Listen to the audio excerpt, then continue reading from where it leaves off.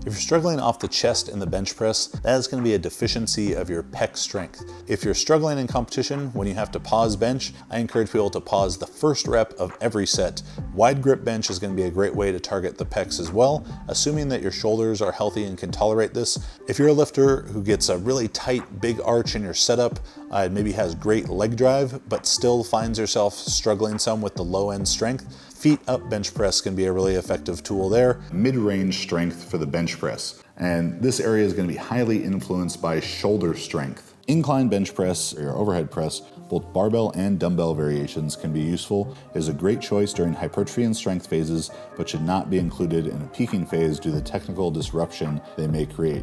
Some of my favorite exercises to improve lockout strength are the close grip bench. Training the triceps becomes largely individualized based on how the lifter's elbows tolerate the training.